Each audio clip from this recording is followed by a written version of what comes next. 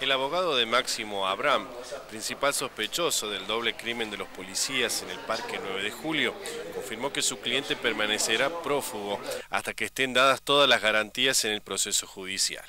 El letrado que hoy tuvo una mañana intensa en tribunales de calle Sarmiento con otros juicios penales, explicó que Abraham quedó vinculado a la causa por tener una camioneta blanca similar a la enfocada por la cámara de seguridad en la zona del parque en el momento del hecho y por algún parecido con el identikit realizado por la policía.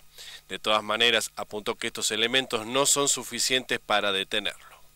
Hasta el día de ayer a la tarde judicialmente no existía ninguna orden, tanto de allanamiento, a menos de que se aseguraron sus negocios comerciales, ni orden de detención que pesara en su contra. Hasta el día de ayer. Veremos en el día de hoy que es lo que determina la justicia de acuerdo a las peticiones que realice el personal policial.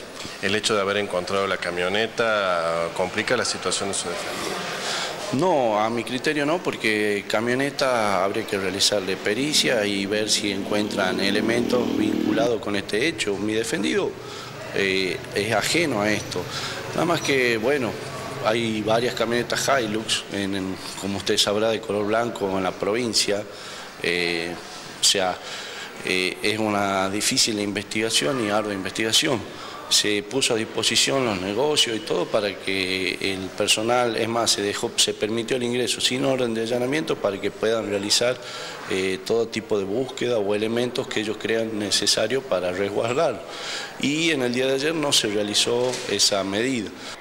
Por el momento, el joven de 21 años, vinculado a la propiedad de conocidos hoteles alojamiento de la provincia, donde ayer se realizaron varios allanamientos, seguirá sin presentarse en la justicia. El doctor Fan lo apuntó que tiene explicaciones suficientes para confirmar que está ajeno a la escena del doble crimen.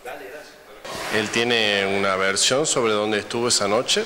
Sí, que será dada en el momento oportuno, cuando este, así este, lo requiriese si es que hay una orden de detención que pese en su contra. Veremos cuál será la estrategia a seguir de presentarlo, este, pero eh, queremos que esto avance porque es un tema muy incipiente y de, en menos de cuatro días hubo ya hay dos implicados, como ustedes bien lo sabrán. Amén del dolor que la sociedad toda siente por el fallecimiento de dos miembros de la seguridad, por eso me manejo con el debido respeto. ¿Se encuentra en la provincia? Eh, no sabría decirle porque la comunicación es telefónica y como usted bien lo vio recién, este, salvo en un debate oral, no, no puedo tener contacto ni telefónico, nada. ¿Tuvo acceso al expediente? No, no podemos tener acceso hasta que la persona declara como imputado.